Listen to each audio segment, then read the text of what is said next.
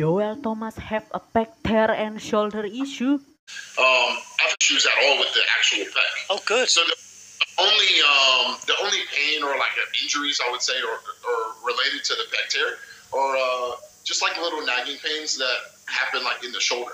What?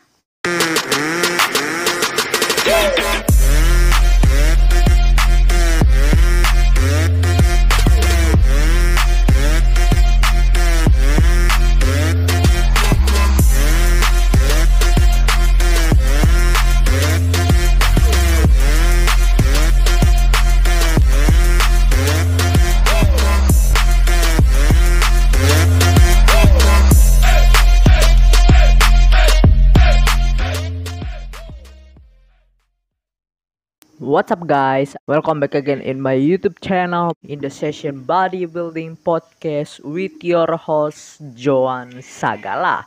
So today we're gonna talk and discuss about Joel Thomas have a pec tear and shoulder issue back in the day. We're gonna learn and we're gonna see how he can handle this situation, this surgery, this pain into the training session when he was training in the gym and how he can deal with it and win some show, some competition with this pain and surgery. Before we go jump up into it, please click the bell button, subscribe. I'm gonna bring more anything that we can talk and discuss in the bodybuilding world.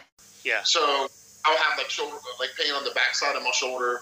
Um, I've had like uh, some some little elbow like nagging pains. Mm. Uh, but uh, I mean that's it's nothing that I couldn't train around. Mm. Um, and it's nothing that really keeps me from from uh, from going hard uh, on training because it, uh, it, doesn't feel like any weakness in the actual pec. Um, so, so, that's like kind of nice. It, it's not like I have to uh, to change my training. Wow, I love the mindset and I love the spirit of Joel Thomas. He thinks like even he have the nagging pain on his back shoulder and he have some kind of like the pec issue I think almost almost I wanna hurt him and get him into the surgery because maybe the way he train in the range of motion or maybe the way he execution the exercise right?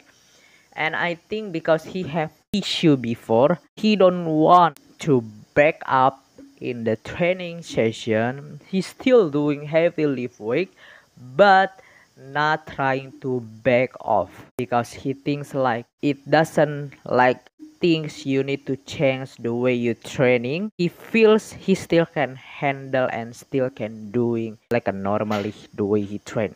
So this is kind of like the good mindset and good motivation great motivation to all of us if he really have some kind of like the same feelings right? Same feelings like a joel thomas situation. I think i'm, I'm training other than I'm not doing flat barbell stuff as often, my my training I would say is uh, exactly the same as it was before by now. I've spoken to bodybuilders. I think it was um, was that Khan when he, he, tore his quads, and, and he said the biggest barrier for him was psychological. He says was getting under that squat rack for the first time when he knew pretty much that everything was okay. Did you have any sort of psychological barriers, any, or, or you were nervous, or and you did a stretch on a fly? Do you think, oh shit, is this going to go again? Good statement from the guyless tiger and really good statement from Joel Thomas also first. He said like other than doing flat barbell stuff, I think he can doing alternative if he feels like oh man i think i have to switch this exercise to another exercise to some kind of like longevity and not making myself into the dangerous zone and get injured from this exercise. And i think that's the way and that's the strategy you can doing first. And of course when you feels like you still have this accident this surgery this pain and you coming to train the same body part let's say you have the chest pain right? And this is your chest day. Of course you gonna thinking you have to flat barbell bench press okay you have to doing this exercise. But mentally psychology you will be getting scared. Because why? Because you still have the chest pain in your chest but at the same time you wanna doing the flat barbell bench press which is the dangerous exercise that we all know right? Which is that's really really the commonly exercise the king of exercise great exercise to bring your into the surgery into the injured right this exercise is really really a high risk injury. The strategy that you can make is you can looking and searching another exercise to alternative this exercise maybe from the barbell to dumbbell. But you're gonna have the psychology mentally i think still psychology still scare mentally. You feels like you really fierce because you still have the chest pain in your chest. That's the situation you're gonna handle if you have this situation right So I had all, all of those uh, kind of thoughts and, and um, fe- fears or doubts or whatever. I, I kind of had those while I was uh, rehabbing. Okay, okay. So it, uh, like I see a lot of guys uh, rush their comeback, or they're like in a hurry to get back in uh, Instagram posting shape and things like that. Yeah, yeah, yeah, But I, I, it's, it's people's job, you know. yeah, yeah.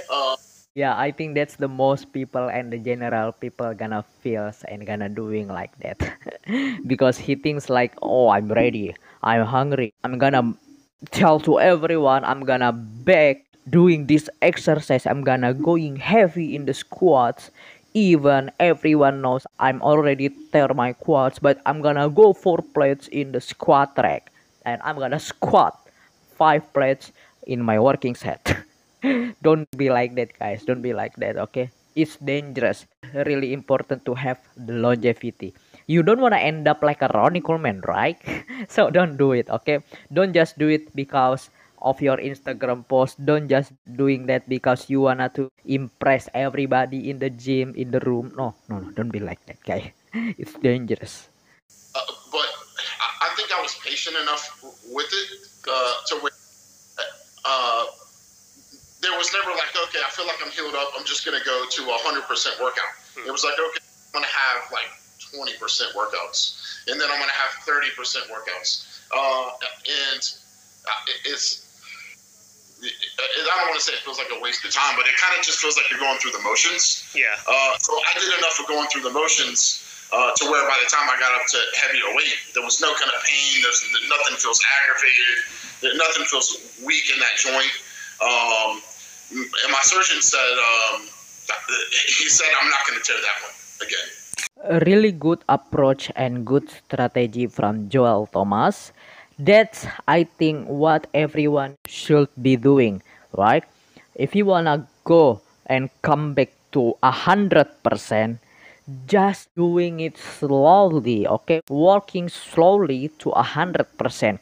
Maybe you start to twenty percent, fifty percent, 70%, 85 and to 100 okay? If you really feel scary okay? Even if you still can let's say you can still bench press for plates.